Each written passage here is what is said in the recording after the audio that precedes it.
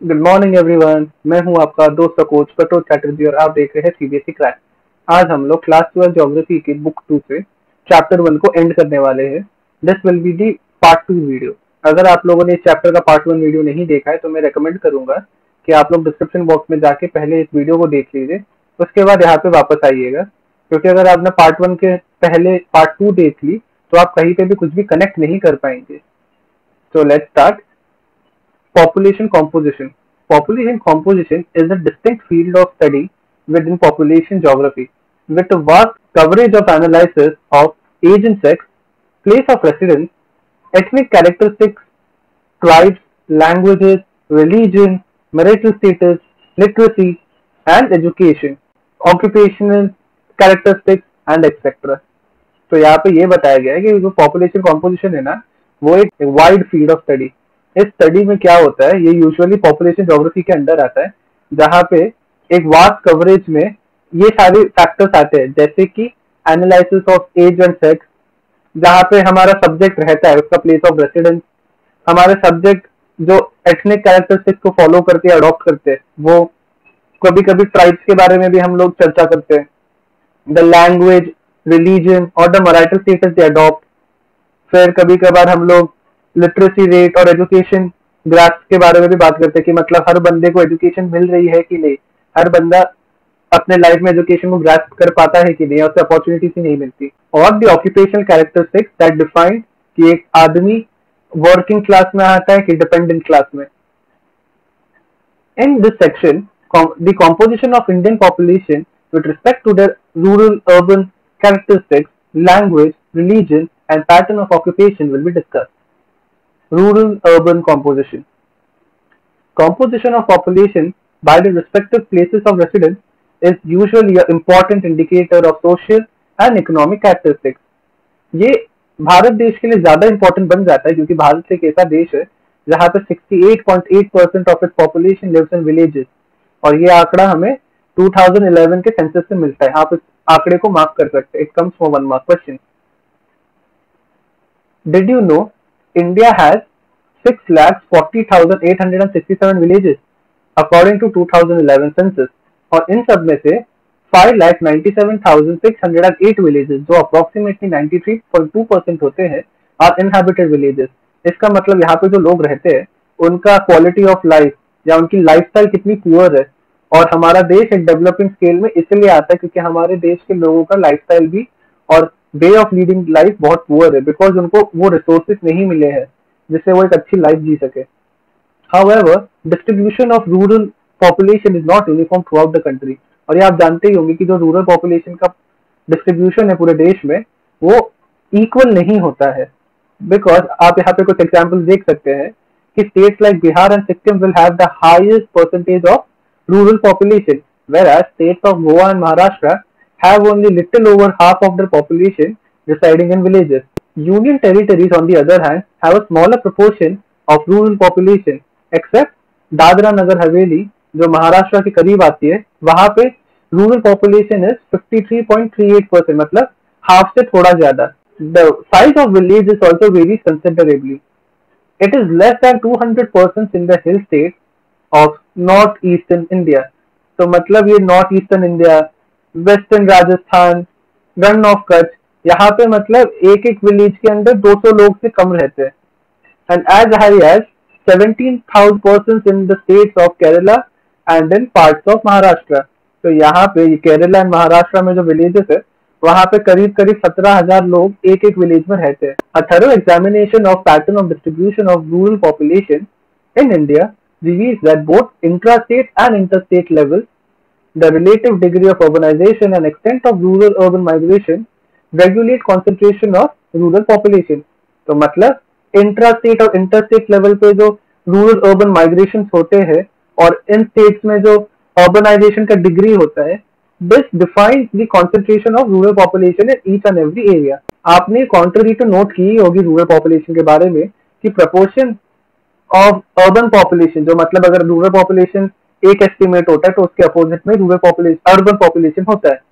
तो आप ये जानते होगे कि अगर 60 परसेंट लोग रूरल पॉपुलेशन में रहते हैं सेवेंटी परसेंट लोग तो सिर्फ़ हमारे देश के थर्टी परसेंट लोग रहते हैं अर्बन सेक्टर्स में। मतलब एक डिसेंसी लाइफस्टाइल जी रहे in India is quite low but it is showing a much faster rate of growth over the decade growth rate of urban population has accelerated due to the enhanced economic development. And improvement in health and sanitation conditions. It is however noticed that in almost all the states and union territories, there have been a considerable increase of urban population तो ये सारे union territories और states में आप देख सकते हो कि अर्बन पॉपुलेशन में कंसिडरेबल उछाल देखा गया है this indicates both development of urban areas in terms of socio economic condition and an increase rate of rural to urban migration rural urban migration मतलब डाल डाल पार्ट पार्ट पे चलते हैं सपोज़ अगर आपके सिटी में मेन रोड का लिंक और रेल रोड का लिंक अच्छा हो जैसे the north Indian plain the industrial areas of Kolkata, Mumbai, Bangalore, Mysore, Madurai Coimbatore Ahmedabad Surat etcetera तो फिर आपके एरिया या सिटी में ज़्यादा रूरल पॉपुलेशन आएगी और वो लोग अपने गाँव छोड़ के वहाँ पे रहने आएँगे। In the agriculturally stagnant part of middle and lower Ganga plain Telangana और the not irrigated western Rajasthan the remote hilly or the tribal areas of northeast along the flood prone areas of peninsular India and along eastern part of Madhya Pradesh तो ये सारे आपने देखा इन सारे state या इन सारे cities में कोई ना कोई खामी है, कोई एग्रीकल्चरली स्टैगनेंट है, कहीं पे इरिगेशन के चीज़ें स्थापित नहीं किए गए इरिगेशन प्रोसेस वहाँ पे नहीं होता, या कोई हिली एरियाज़ में रिमोट सिटीज़ आती है। तो ये सारे एरियाज़ आप देख सकते हो, या फिर जो पेनिनसुलर इंडिया को बोला फ्लड प्रोन ये सारे एरिया में degree of organisation has always remain low जिस कारण यहाँ पे लोग गाँव छोड़कर रहने बहुत कम ही आते linguistic composition India is a land of linguistic diversity and according to Grierson जो लिंग्विस्टिक सर्वे ऑफ़ इंडिया के पार्ट थे फ्रॉम 1903 टू 1928 मतलब for 25 years he was part of linguistic survey of India he said that India had 179 languages and as many as 544 dialect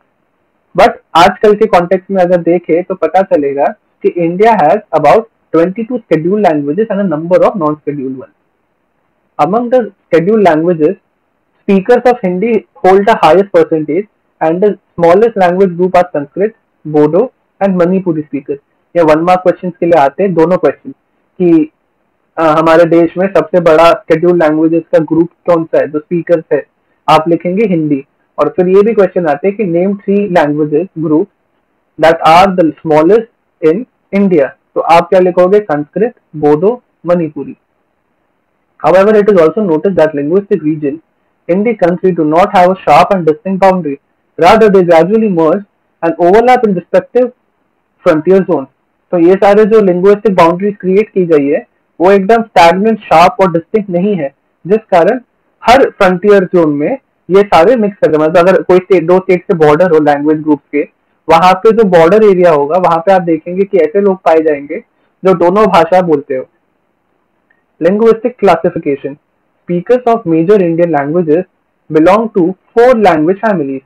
which have their subfamilies and branches or groups. इसके बारे में हम table 1.2 में चर्चा और करेंगे religious composition आप सबको पता होगा कि इस देश में जो इंडिया है यहाँ पे रिलीजन एक बहुत डोमिनेंट फोर्स है, जो हमारे कल्चरल पॉलिटिकल लाइफ और हमारे इकोनॉमिक लाइफ को भी एक हद तक इन्फ्लुएंस करता है। तो यहाँ पे हम लोग आ गए टेबल 1.2 पे, जिसका नाम है classification of modern Indian languages तो हम लोग एक एक करके जाएँगे। फैमिली ऑस्ट्रिक निशादा ऑस्ट्रिक को निशादा भी कहा जाता है। इनका परसेंटेज होता है सिर्फ़ 1.38 परसेंट इनका सब फैमिली क्या होता है? ऑस्ट्रो एशियाटिक ऑस्ट्रो एशियाटिक का जो ब्रांच ग्रुप है, वो है मोन खमेर और मुंडा। मोन खमेर का स्पीच एरिया होता है मेघालय या निकोबार आइलैंड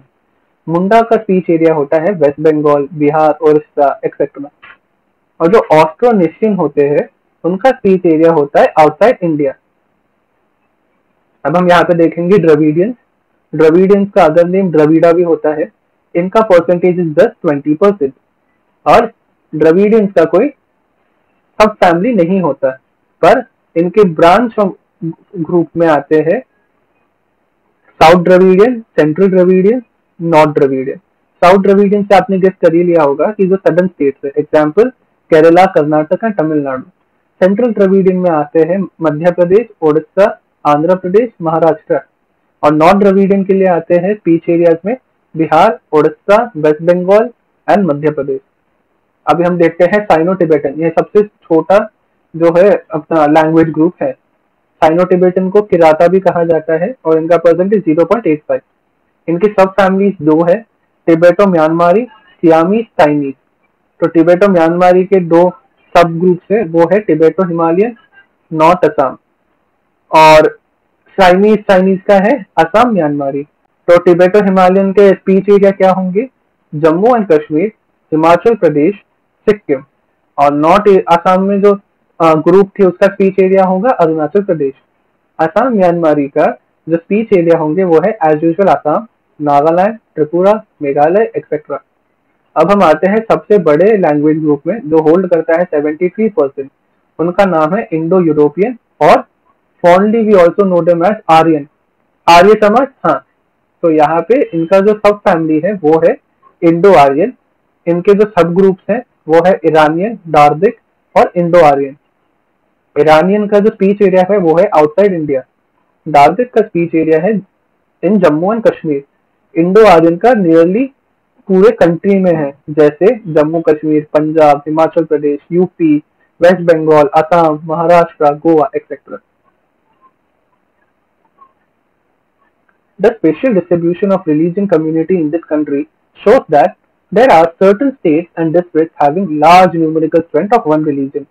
तो आप जानते हो गए हमारे देश में हिंदू मेजोरिटी में आते हैं। मुस्लिम हमारी सबसे बड़ी माइनॉरिटी होती है। और जैन, पारसी, ये सब हमारी सबसे छोटी रिलीजियस ग्रुप है। Hindu are distributed as a major group in many state ranging from seventy to ninety percent and above except district of state along Indo Bangladesh Indo Pak तो ये दोनों बॉर्डर एरियाज़ में आपको यहाँ पे हिंदू का चाल चलन थोड़ा कम दिखेगा। Jammu Kashmir hill states of north east and somewhere scattered around Deccan plateau and Ganga plain अब यहाँ पे हम देखते हैं table 1.3 religious communities of India in 2011 तो आप देख सकते हो कि हिंदूज का पॉपुलेशन इंडिया में इज़ लाइक 966.3 मिलियन और उनका परसेंटेज है 79.8 आप यहाँ पे देख सकते हो मुस्लिम का पॉपुलेशन है 172.2 मिलियन जो आप देख सकते हो कि 966.3 मिलियन से कितना कम है। और उनका परसेंटेज भी 79.8 के सामने छोटा सा 14.2 रह जाता है। दूसरी सबसे छोटी जो वेल नोन हमारे रिलीजन आती है, वो है जैन, जो होल्ड करते थे 4.5 मिलियन लोगों को। उनका परसेंटेज है 0.4 percent Muslims are the largest religious minority and are concentrated in Jammu and Kashmir, certain districts of West Bengal and Kerala. Many districts of Uttar Pradesh, in and around Delhi and in Lakshadweep, they form majority in Kashmir Valley and Lakshadweep. हमारे देश में Christian population Christian population is distributed mostly in rural areas of the country. Main concentration of these population is observed along the western coast around Goa, Kerala, and also in hill states of Meghalaya, Mizoram, Nagaland, etc. हमारे देश के जो six है वो ज़्यादातर northern half में पाए जाते हैं जो एक बहुत छोटा सा एरिया में कॉन्सेंट्रेट करते हैं for example Punjab Haryana and Delhi हमारे देश में Jain and Buddhist are the smallest religious group in India they have their concentration only in selected areas of the country. Major concentration in the urban areas of Rajasthan, Gujarat, Maharashtra, while Buddhists are concentrated mostly in Maharashtra and Sikkim, Arunachal Pradesh, Ladakh, Jammu Kashmir, Tripura, Lahul Spiti, etc. Other religions of India include Zoroastrianism, tribal and other indigenous faiths and beliefs. These are concentrated across the country in some small pockets scattered around. Composition of working population. Population of India, according to their economic status, is divided into three groups. इनके नाम होंगे main workers marginal workers and non workers तो हमारे देश में proportion of workers जो usually main and marginal दोनों को कंपोज करती है, ये दोनों मिलकर सिर्फ़ 39.8 परसेंट बनता है तो मतलब करीब करीब 40 परसेंट होता है मतलब हमारे देश में 60 परसेंट लोगों को जॉब नहीं मिलती है दे आर अनएम्प्लॉयड और they are under employed standard census definition main worker is a person who works for at least 183 days or 6 months in a year. Marginal worker is a person who works for less than 183 days 6 months in a year. तो ये जो दो definition है one mark question के लिए आते हैं, आप इनको याद रख larger proportion of dependent population further indicating possible existence of large number of unemployed और अंडर एम्प्लॉयड तो जो मैंने आपको बोला था कि 60 परसेंट ऑफ़ नॉन वर्कर्स से हमको क्या पता चलता है तो हमें यही पता चलता है कि हमारे देश में बहुत बड़ा proportion of people are dependent population और ये ऑल्सो इंडिकेट करता है कि हमारे देश में अनएम्प्लॉयड अंडर एम्प्लॉयड की संख्या ज़्यादा है proportion of working population of the states and union show a moderate variation from about 39.6% in Goa to about 49.9% in Daman. हमारे state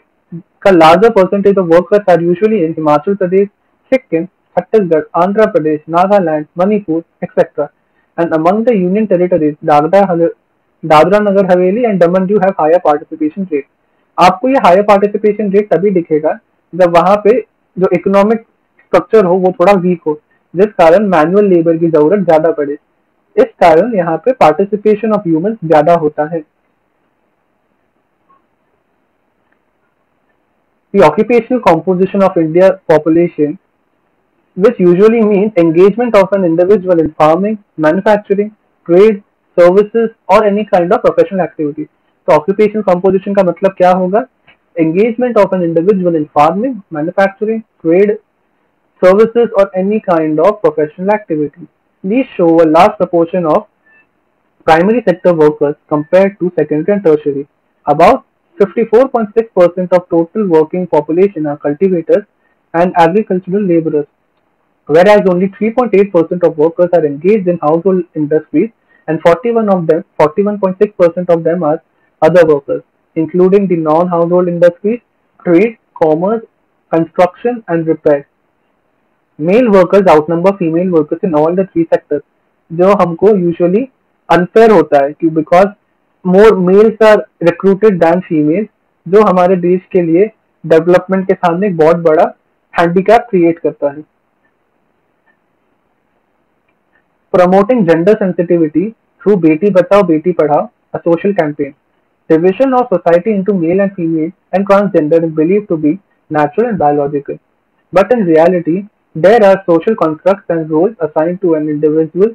which are reinforce by social institution मतलब हमारे देश में न पहले से ये रोल्स असाइन किए जाते हैं सारे जेंडर्स को कि मर्द काम करेगा रोटी कमाएगा और औरतें घर में खाना खा, बनाएगी और फिर अपने बच्चों का देखभाल करेगी। जिस कारण औरतों को ज़्यादा नौकरी या काम दिया नहीं जाता। आजकल के डेट पे ये चीज़ थोड़ी सी सोशल बैरियर को तोड़ा जा रहा है और लड़कियाँ भी लड़कों से कदम मिलाकर क्यों? लड़कों से कई हद तक आगे बढ़कर ही काम कर रही है। पर ये हम यूजुअली 11 साल पहले की 10 साल पहले की बात कर रहे हैं। इन 2011 these biological differences become the basis of social differentiation, discrimination and exclusion. The exclusion of over half of the population becomes a serious handicap to any developing or civilized society it is a global challenge which has been acknowledged by the UNDP when it mentioned that if development is not endangered engendered, it is endangered. Human Development Resource UNDP in 1995. Discrimination in general and gender discrimination in particular is a crime against humanity. All efforts need to be made to address the denial of opportunities of education, employment, and political representation or low wages for similar types of work, disregard to en- entitlement to a live a dignified life, etc. तो हमारे देश में कोई एक social figure उठ के आना चाहिए कि वो ऐसे एफर्ट्स करे और ऐसे चीज़ों को एड्रेस करे ऐसे सोशल इवेंट को एड्रेस करे बट मैं ये मानता हूँ कि आज का टाइम आ चुका है कि हम लोग खुद चेंज हो हम अपनी खुद की मानसिकता को बदले और हम खुद ही सोशल इवल्स के सामने डटके खड़े रहे ताकि कल हमारे देश की औरतों को ये सब फेस ना करना पड़े। Society which face to acknowledge and take effective measures